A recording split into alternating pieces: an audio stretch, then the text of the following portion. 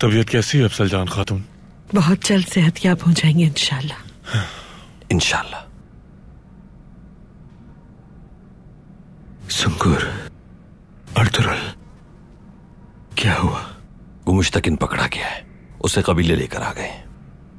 और बाकी दो फितनों का क्या बना? आयतोलन मर चुकी है लेकिन गोंजा गुल फरार हो गई। वो बदबख्त भी जल्द अपने अंजाम को पहुंचेगी साहब। इंशाल्लाह। जब तक मेरे साथ तुम जैसे दो बहादुर भाई हैं और सैलजान जैसी शरीक हयात है काय कबीले को कोई नहीं हरा पाएगा। मैंने तुम लोगों की बात पर एतबार नहीं किया। माफ़ी चाहता हूँ।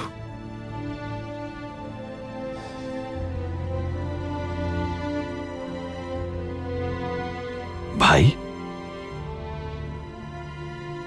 आर्तुक भाई ने इन्हें सुकून के लिए दवाएँ दी हैं। तो बहुत जल्द ठीक हो जाएँगे। आप फ़िक्र ना करें। आप उस मलून को उसके अंजाम तक पहुंचाइए। अल्लाह इन्हें सहते